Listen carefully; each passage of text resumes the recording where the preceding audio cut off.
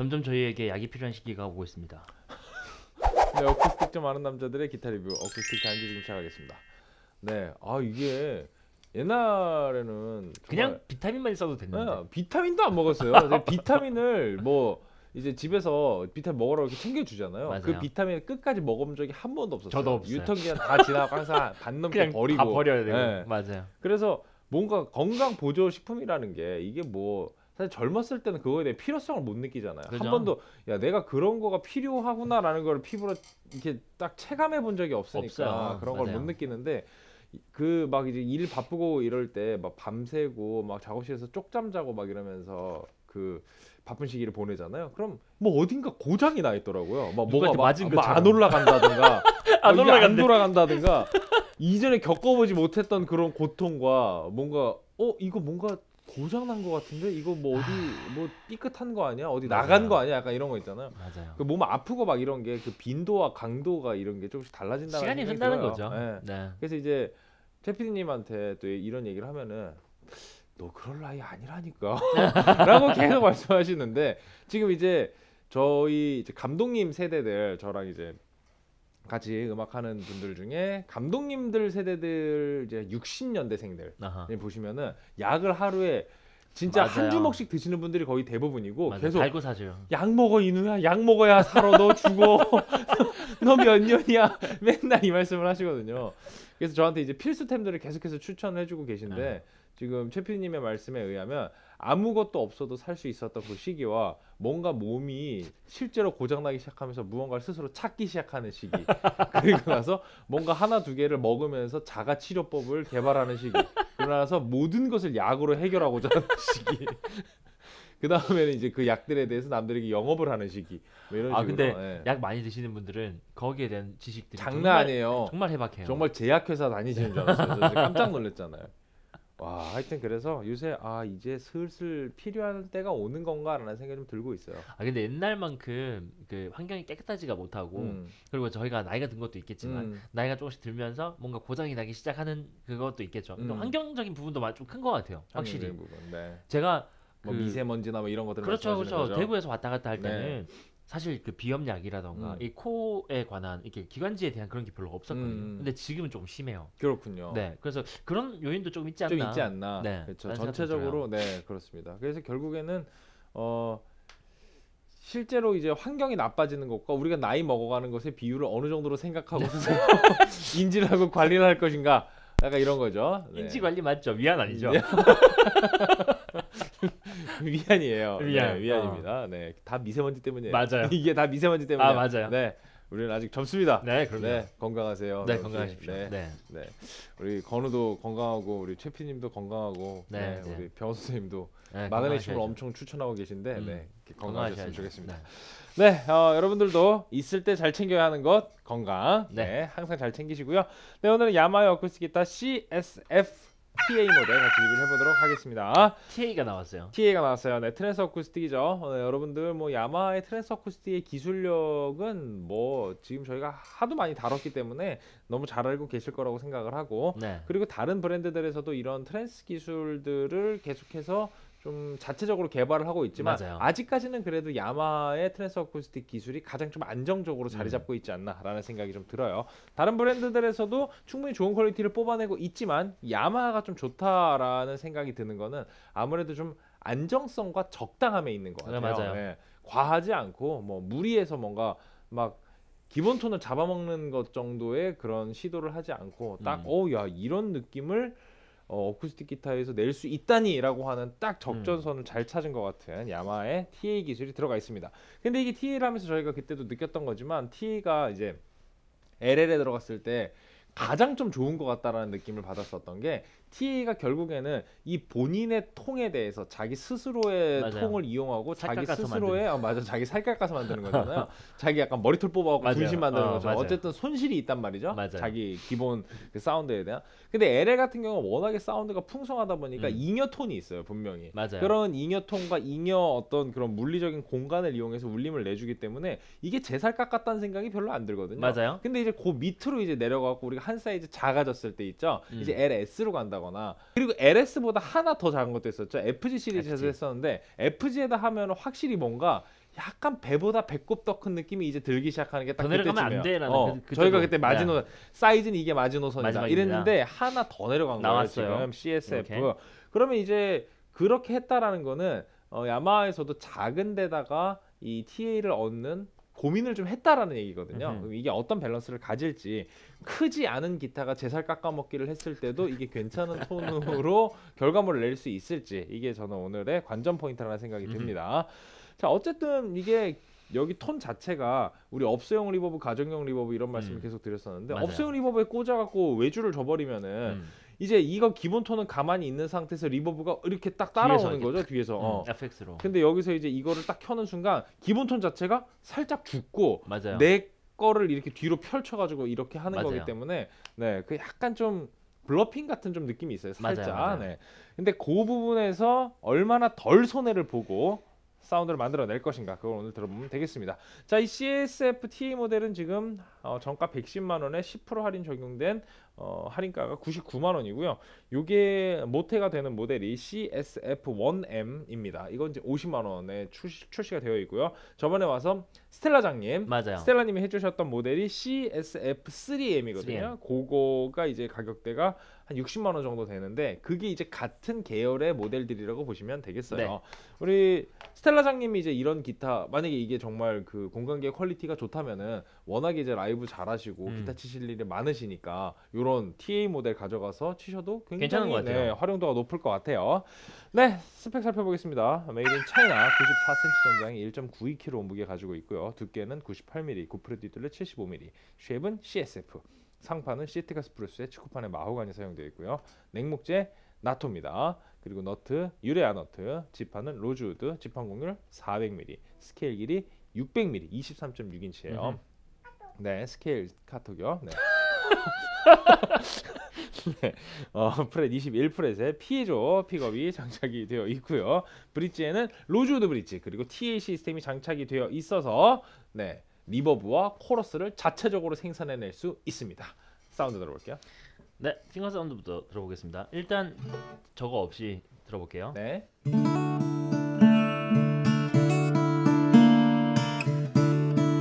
사실 이 사운드는 사운드는 네. 뭐 흠잡을 게 별로 없죠. 잡을 때가 별로 없죠. 그래서 아픈 거예요. 네. 나이가 먹었다는 증거죠. 이런 그렇죠. 게. 좋죠. 네, 좋습니다. 흠잡을 데 없는 CSF 사운드. 네, 일단 스트로크 먼저 또 듣고 네. 그 다음에 다른 거 해볼게요. 이거 굵은 게 잠깐만. 네. 스트로크 사운드 들어보겠습니다.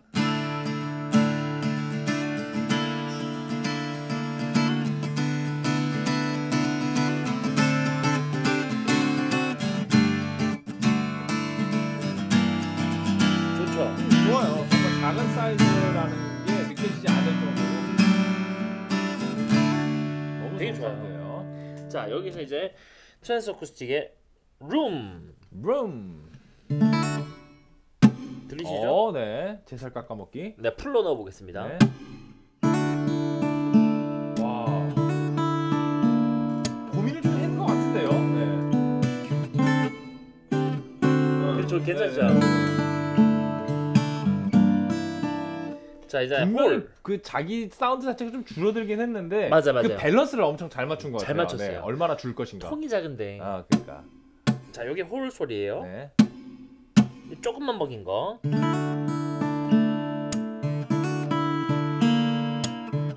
자 이제 풀로 먹여볼게요.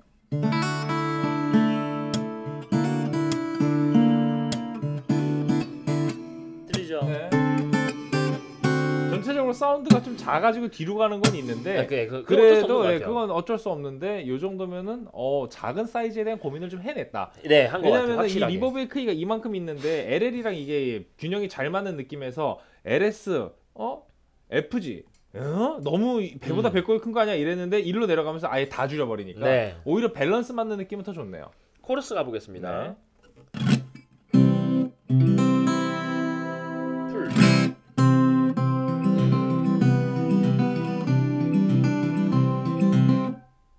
없죠? 여기다가 홀을 살짝 묻힐게요.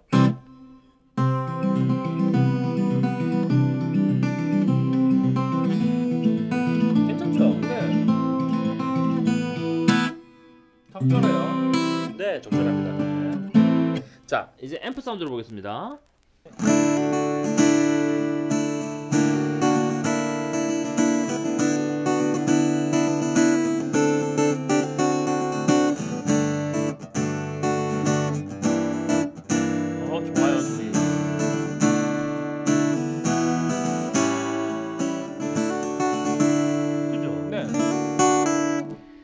사운드 밀리지 않고 네, 정말 아무것도 지금 뭐 세팅 안 아무것도 해놨는데 안 그냥 했어요. 좋은 사운드가 나옵니다.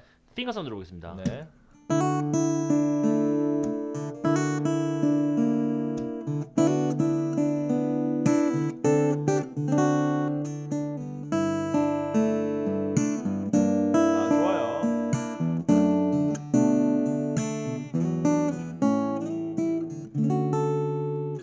좀 좋죠. 네. 여기서는 앰프 사운드를 들어갔을 때는 이걸 누르지 않아도 음. 여기서 알아서 먹어요. 네. 그냥 올리기만 하시면 음.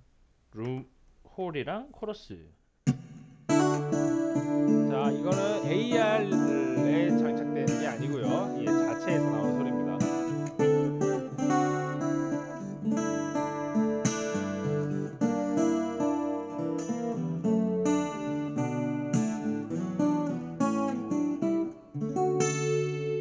괜찮죠? 좋아요. 네, 이렇게 소리가 납니다. 네, 이거 업소용이랑 한번 비교해 볼게요. 비교해 보겠습니다. 네, 다 일단 끄고. 코러스 빼고 네. 홀 reverb를 네. 넓죠. 네. 일단 자, 가장 큰 차이점은 음. 자기 소리가 죽지 네, 않는다는 거. 맞아요.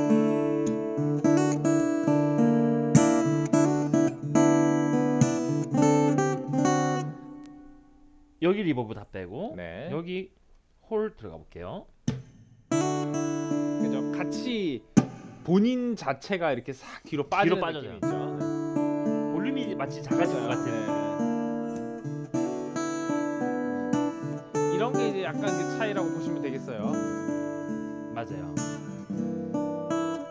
이건 어떻게 보면은 진짜 어, 잘 혼자서. 어, DIY 하는 거고요. 저거는 이제 사람 부른 거죠. 그렇죠. 그래서, 예, 그런 느낌으로 보시면 될것 일단 같습니다. 기본적으로 기타 자체의 소리가 좋기 때문에 네, 맞아요. 네. 그래서 이게 그 작은 기타에 맞는 TA 시스템과의 음. 그런 밸런스를 잘 고민을 한 것 같습니다. 자, 이건 어떤 곡 들려줄 건가요? 네, 요거는 소나기 내린다 들려드리겠습니다. 소나기 내린다. 네, 듣고 오겠습니다. 뿅. 뿅.